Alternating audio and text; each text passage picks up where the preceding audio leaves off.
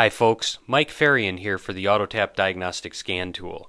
You may have seen the video I did recently with Bruce Bonebrake, who hosts the DIY Network's Weekend Mechanics Show. We used AutoTap to diagnose a couple of problems with my Lumina, and I wanted to show you now just how easy it is to use the AutoTap to read your vehicle's trouble codes, monitor live data, and clear any codes after you've made your repairs, just like Bruce and I did. So let's get started with today's vehicle, which is a 1996 Olds that's been running a little bit rough and has a check engine light on. I've started the AutoTap software, and the first thing that's happened is that my vehicle's been scanned for any known trouble codes. Sure looks like I have a problem on cylinder number one with a misfire, and the AutoTap software tells me that my check engine light's on down here in the lower right hand corner. So let's see what's really happening on cylinder number one by adding some live data. And we're going to check the misfire parameters that are available on cylinder number one. So we're going to look at the current misfire and also the history of misfires on that cylinder. Wow, look at that. You can see how easily AutoTap has found the problem, and now it makes it very easy for me to know what to do next. I think I'm going to replace my spark plugs and the spark plug wires, and I'm going to check my injectors too and after I'm done, I'm going to clear the codes and retest my car. So let's pick this up on the other side when I've finished doing my work. Bye for now. Well, I'm back.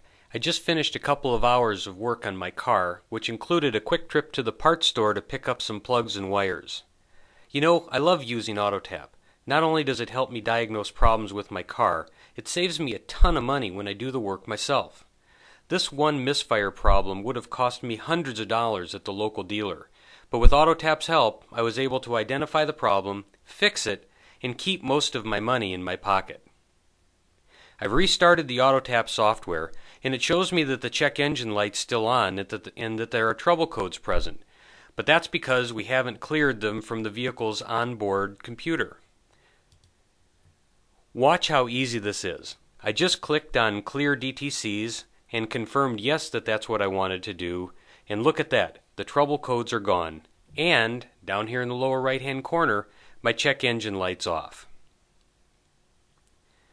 So just to make sure, let's double check some live data from cylinder number 1 by adding a table back to the screen. Let's add the same two parameters we looked at last time. Those were misfire current cylinder number 1 and misfire history cylinder number 1. Well, so there you have it, folks. No more misfire problems on cylinder number one. My seven year old car is good as new, all with a little help from AutoTap.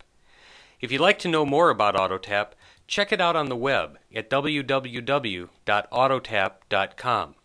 Or you can send us an email by clicking on the Contact Us button and selecting the appropriate email address.